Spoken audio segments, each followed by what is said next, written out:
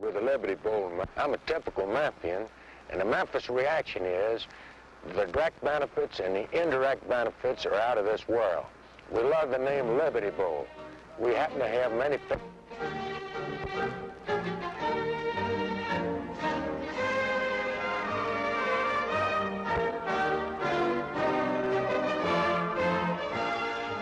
The Liberty Bowl stands alone. Fruits and vegetables. But only one postseason classic represents the qualities upon which our country was founded. Freedom, justice, and liberty.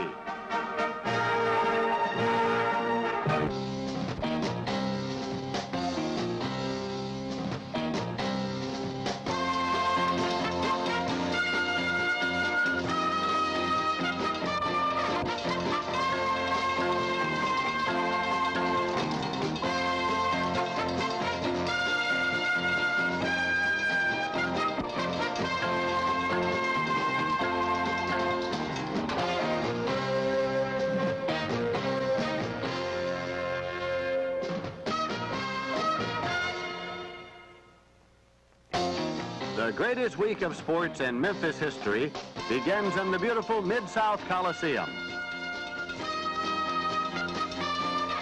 Track teams from Villanova, Memphis State, Tennessee, and Arkansas soar to 10 new meet records.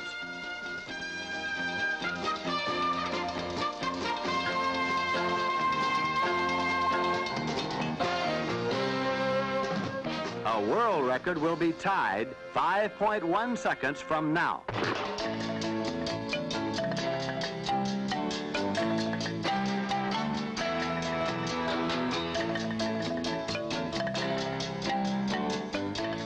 In his first collegiate competition, Memphis State freshman Jerry Tinker ties the recognized mark in the 50-yard dash. Barney Ewell set the 5.1 record in 1941.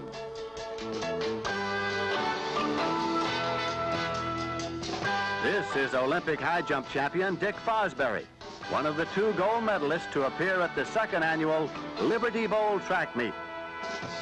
Watch the famous Fosbury flop.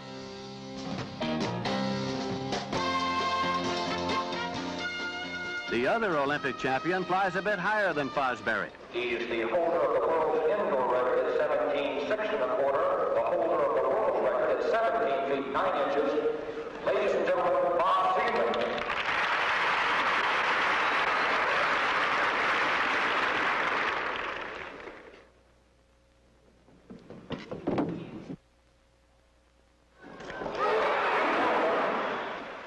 Seagren's exhibition, the Liberty Bowl crowns a track champion. George Chandler, manager of the Chevrolet Motor Division, is presenting the second annual Liberty Bowl Team Championship Trophy. The winning team is the University of Tennessee Audrey Murray Athletics Center.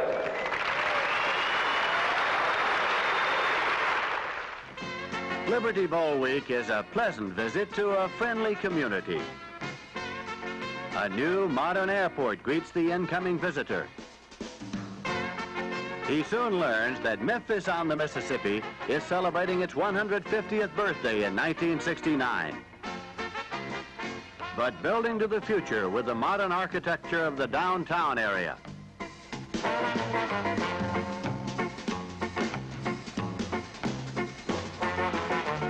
And nestled in this business complex is a place to relax. Memphis is where W.C. Handy gave birth to the blues.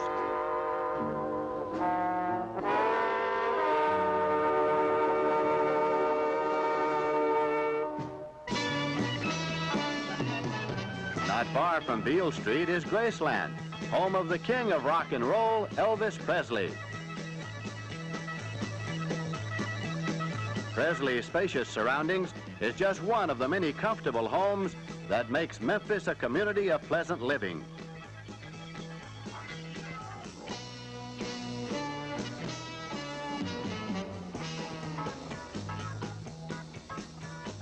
Adding to the cultural value of the area are 19 colleges and universities, including Memphis State University.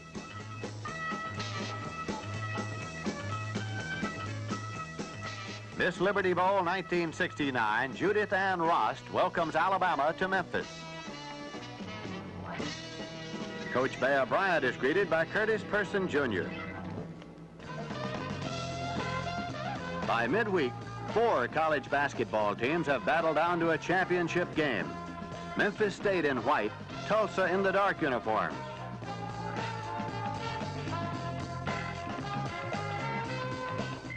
The taller Tulsa Five wins the crown with sharp shooting and the brute strength of 6'10 sophomore center Dana Lewis. The final is 82 to 72, and the most valuable player award is won by Tulsa's Dana Lewis.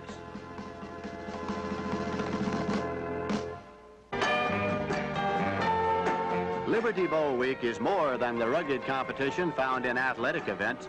It's a high-spirited holiday of fun and friendship. Many gala affairs attract a warm-hearted visitor, including the Variety Club dinner. This Freedoms Foundation luncheon, attended by Ambrose Bud Dudley, Executive Director of the Liberty Bowl. Dr. Kenneth D. Wells, President of Freedoms Foundation, and Mr. William Walton, President of Holiday Inns. More than 1,200 attend this special luncheon, including Liberty Bowl President John Hull Dobbs on the left and Mayor Henry Loeb. Colorado coach Eddie Crowder chats with Hall of Fame football coach Bud Wilkinson. And ABC TV sportscaster Chris Schenkel enjoys the company of Miss Liberty Bowl. Later that evening, the Skyway Room of the Sheraton Peabody Hotel is the scene of a black tie dinner. This is the highlight event of the night before the 11th annual Liberty Bowl.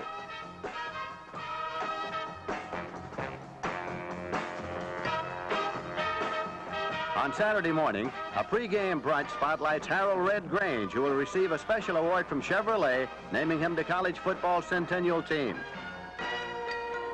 And the opposing coaches talk strategy. Well, first of all, I think University of Colorado is a well-balanced team, but we, we actually are not. We're a passing football team. So uh, first thing we have to do is try to stop their running game, which no one has done. Otherwise, we won't get the ball often enough. Scott Hunter, the Alabama quarterback, is unquestionably uh, one of the best passers in the country. And we feel unquestionably we've got to stop him, number one. And I think to stop him, the first item is to put on a good rush. But now the warm-ups are over. The main event is here. Memphis Modern Sports Complex is the scene. The weather is perfect. The players are ready. Your seat is waiting. Program! Program! Program! Program!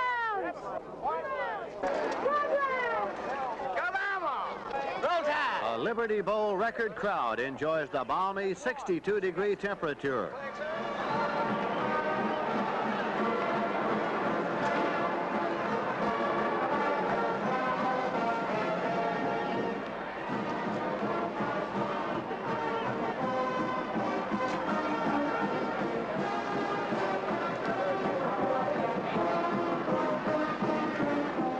Alabama versus Colorado, and for Bama coach Bear Bryant, it's his 11th consecutive bowl appearance.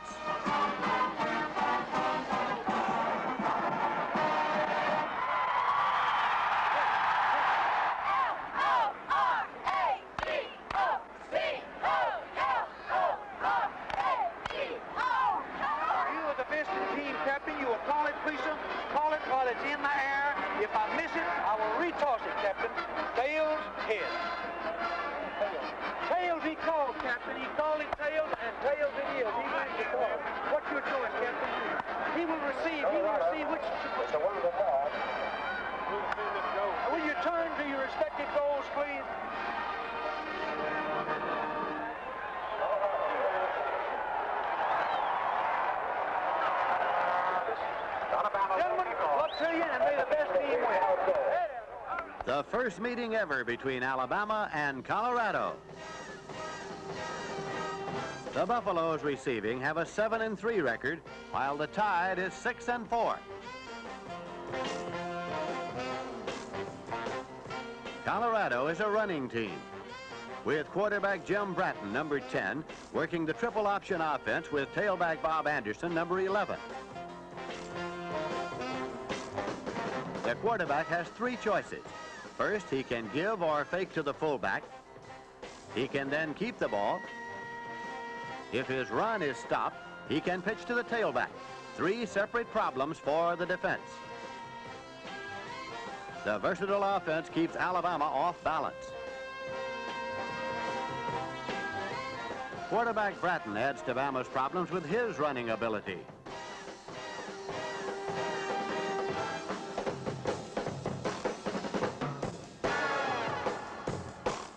Eight plays in the drive, all on the ground to the Bama 13.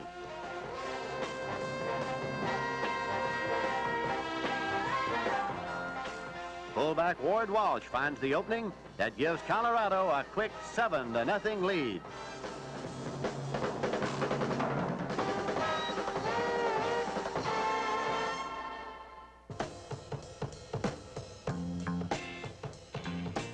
Defensively, the Buffaloes must rush Scott Hunter, number 12, a quarterback Bear Bryant calls probably the best passer I've ever had.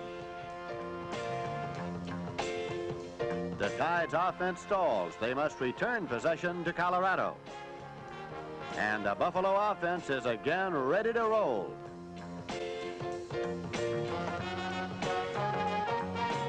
Anderson's 49-yard journey is the game's longest run from scrimmage. Another look shows the fake to the fullback fooled the Tide defense,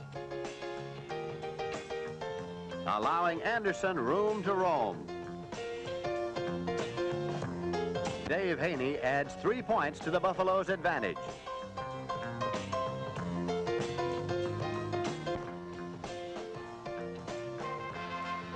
As he barely misses six.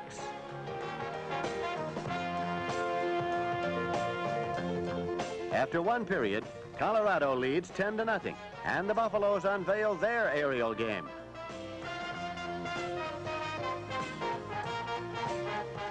But the passes are only to taunt the Tide. Colorado gained twice as many yards on the ground as in the air in 1969, and on this sunny December afternoon, the Buffaloes stick to their strength.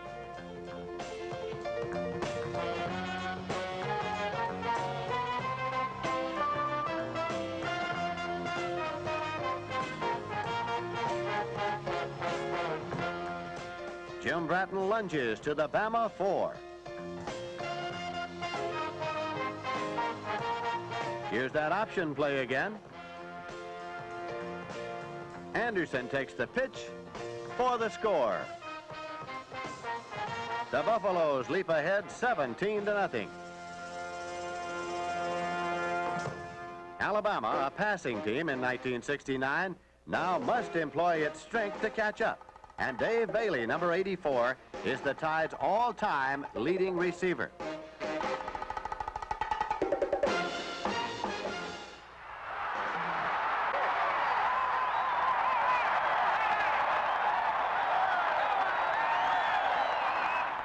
The interference penalty breathes new life into the Bama attack. Quarterback Scott Hunter spots a big hole in the defense.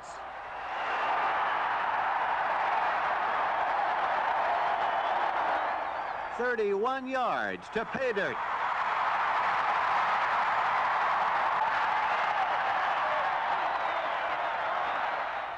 A repeat of the play shows how quickly Hunter charges past the tackle, number 60, into an open area. Then puts a move on the safety, number 43.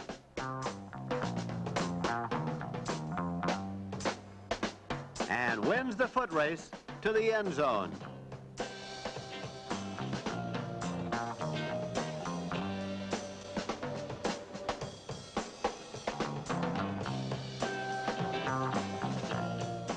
Hunter's surprising run puts Alabama on the board, trailing 17 to 7.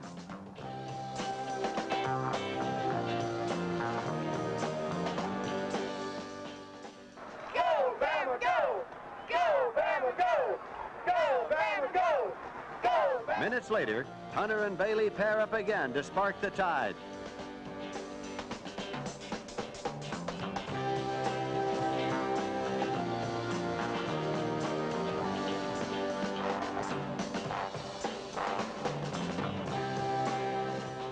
Thirty-three yards into Colorado territory.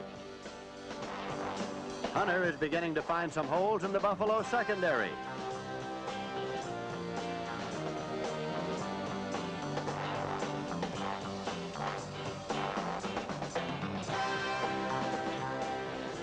From the sixth, George Ranager sweeps in untouched, and Alabama trails by only four, 17 to 13.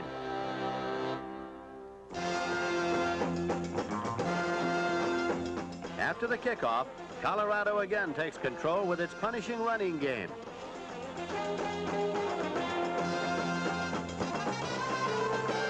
When Bratton pitches to Anderson, the defense must play for either a pass or a run. Number 11 quarterback the Buffs until their third game this season. He makes the halfback pass run option a dangerous Colorado scoring threat.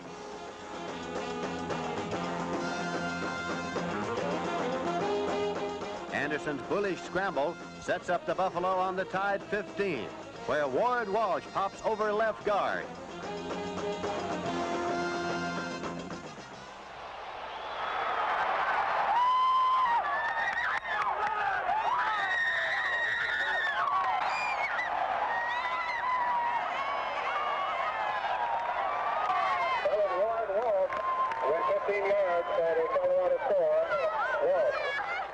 Now 24 to 13, Colorado.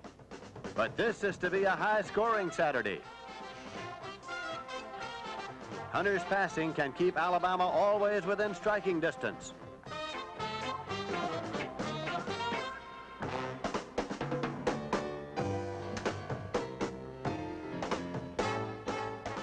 Hunter throws into the end zone.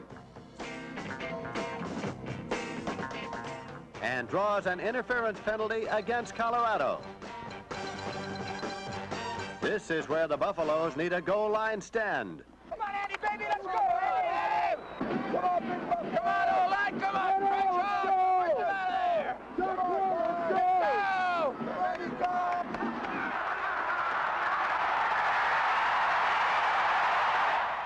But Johnny Musso's two-yard touchdown dive brings the visitors from Dixie to within five. Bama trails 24 to 19. Alabama, however, is jolted on the following kickoff.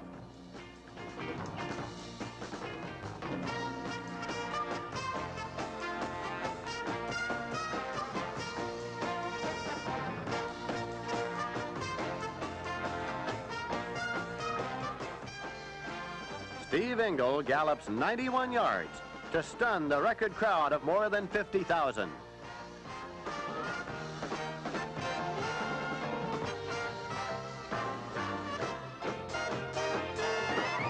At the break, Colorado commands a 31 to 19 lead.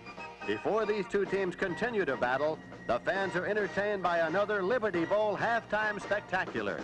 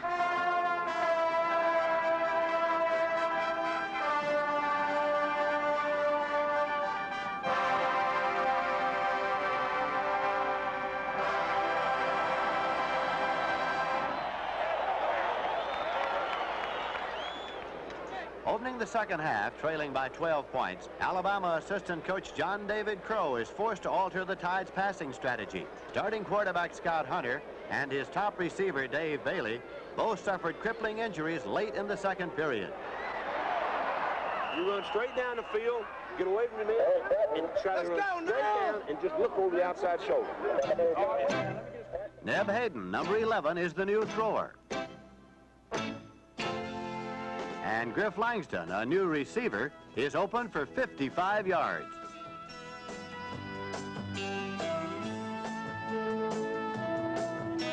Let's take another look at the game's longest pass play.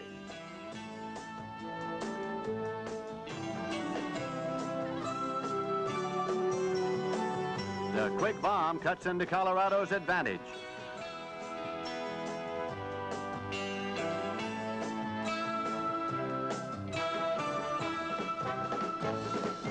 Jim Bratton tries to grab it back on one throw. But Steve Williams of Alabama is there to wipe out the threat.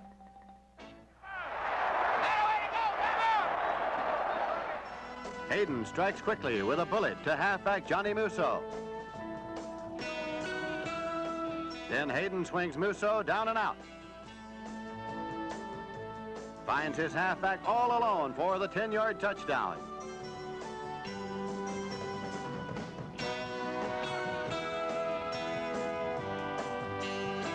For the first time in the game, Alabama holds the lead.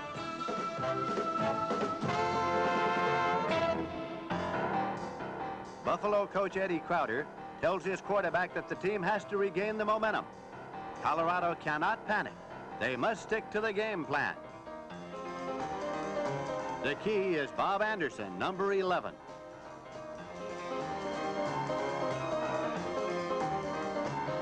Anderson is the only Big Eight back in history to gain more than 5,000 career yards.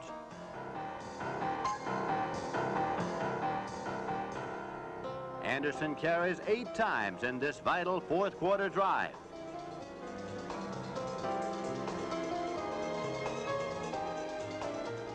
He will finish the game with a Liberty Bowl record 254 yards rushing. The six-foot senior, already drafted by Houston as a baseball catcher, takes it in. Take it in, Buzz. Take it in.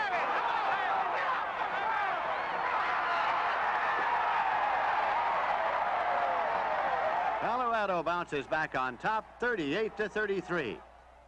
And when Alabama retaliates, it turns into the game's most controversial play.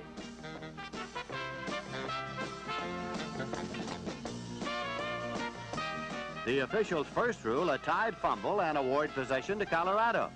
The decision brings out the bear. Bryant explains it as a whoopee pass and that it should be ruled incomplete and not a fumble. Let's take another look at that controversial play. Is it a forward or lateral pass?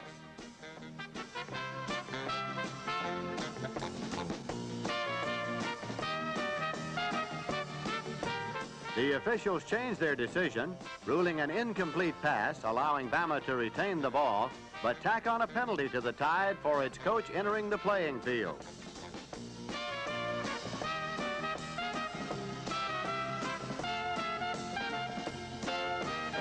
The decision so riles the Buffaloes that they charge through and KO Hayden for a safety.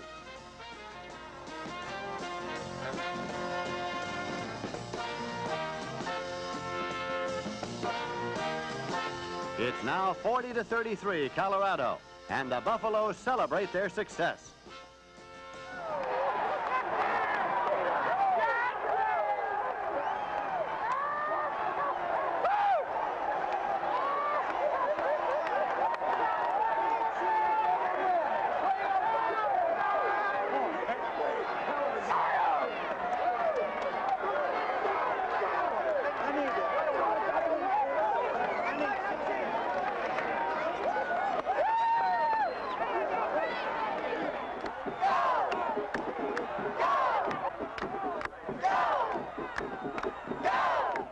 One final shot for Alabama.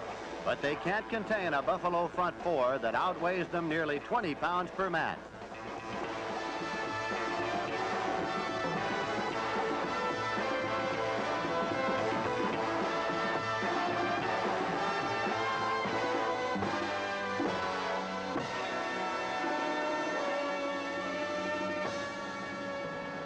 The tide is turned.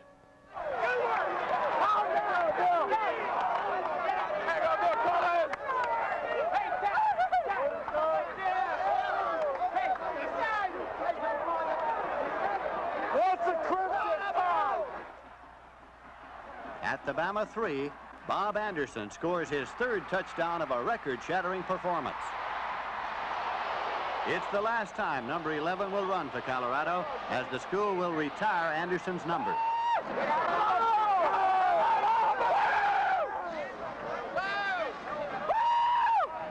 Colorado wins the 11th annual Liberty Bowl 47 to 33, ending the most exciting game in the bowl's history.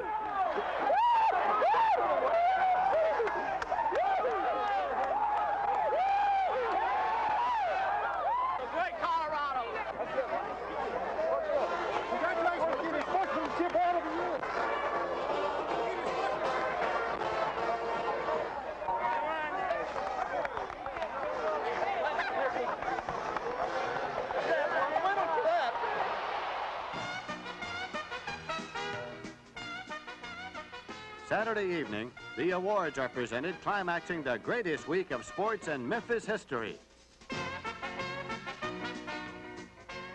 The Outstanding Offensive Back Award from the Humble Oil and Refining Company, presented by Lee Tierney to Colorado's Bob Anderson, who earns yet another award. We'd like to call as our most valuable player, Bob Anderson of Colorado.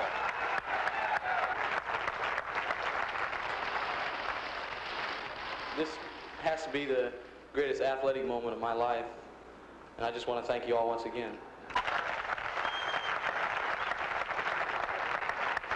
Congratulations.